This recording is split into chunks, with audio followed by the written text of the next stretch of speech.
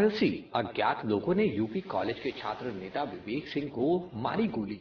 गोली लगने से मौके पर ही छात्र विवेक सिंह की हुई मौत। बीकॉम द्वितीय वर्ष का छात्र था विवेक सिंह। कॉलेज परिसर में मारी गई गोली। लगभग आठ गोली लगी विवेक सिंह को। सूचना पाकर पहुँची कई थानों की पुलिस। छात्र विवेक सिंह को दीनदयाल अस्पताल में लाया गया, जहाँ डॉक्टरों ने उसे मृत घोषित कर दिया। घटना सिद्धपुर थाना क्षेत्र की है। मौके पर जिलाधिकारी सुरेंद्र सिंह एसपी आनंद कुलकर्णी सहित कई आला अधिकारी मौजूद और इस दौरान लगभग सैकड़ों छात्र घटनास्थल पर मौजूद रहे। स्थिति तनावपूर्ण देखते हुए पीसी, पीएससी को बुलाया गया। विवेक मूलता आजमगढ़ के तरवा मोहनपुर का रहने वाला था। एसपी आनंद कुलकर्णी का कहना, कुछ अज्ञात लोगों ने विवेक सिंह को गोली मारकर हत्या कर दी और अभी तक प्रारंभिक पूछताछ की गई है। और जो विवेक के परिजन हैं, उन्हें सूचना दे दी गई है।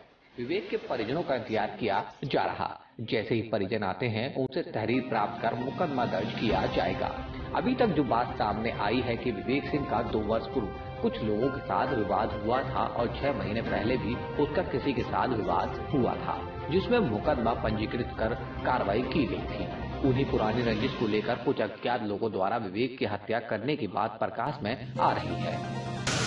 बजकर पंद्रह मिनट के आसपास एक सूचना प्राप्त हुई थी कि कॉलेज में किसी लड़के को गोली मार दी गई है इस सूचना पे पहुँचा गया तो देखा गया कि विवेक सिंह नाम का एक लड़का है इसको हॉस्टल के सामने से एक रास्ता जाता है।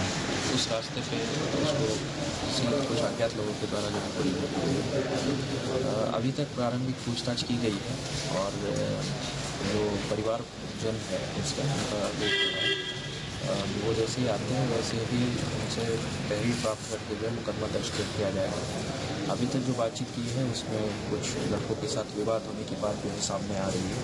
पिछले दो साल पहले से कुछ विवाद चल रहा था और छः महीने पहले भी कुछ ऐसी इस टाइप की घटना हुई थी, जिसमें उस समय मुकदमा दर्ज करके कार्रवाई भी गई थी। इधर हाल फ़िलहाल में कोई विवाद होने की बात में नहीं आई है। अभी तक जो जानकारी हुई है उसके अनुसार उसी रंजिश को लेके कुछ लोगों के द्वारा उसमें उसकी हत्या करने की बात प्रकाश में आ रही है।